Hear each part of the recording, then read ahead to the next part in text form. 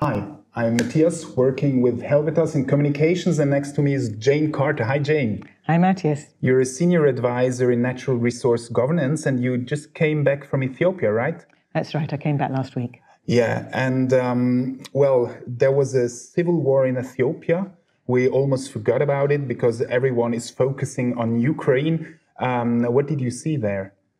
It's right that there has been a civil war. I was up in the north this time, so that's um, close to where the hostilities were. There's a ceasefire at the moment, but you see um, there are a lot of men walking around with guns, and uh, there's rumours that uh, the might, hostilities might start again, but it's not sure, of course.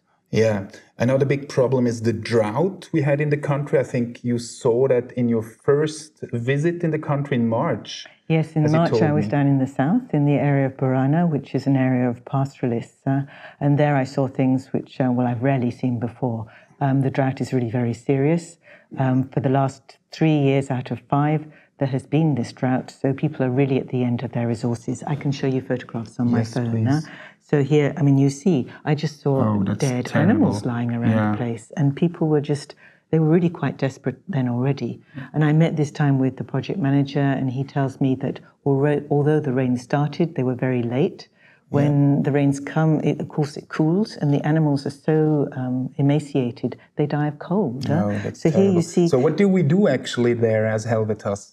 For this time, um, we've been involved in a destocking program, so that means buying up some of the animals before they actually die, so at least the farmers get some value from them. Huh?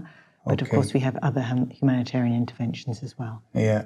Okay. For all of you who want to learn more about the drought situation, uh, Jane has written a blog. You can click on the link above. And uh, what is your last message to our audience today? Of course, the humanitarian situation in Ukraine deserves attention, but the Ethiopians deserve attention too.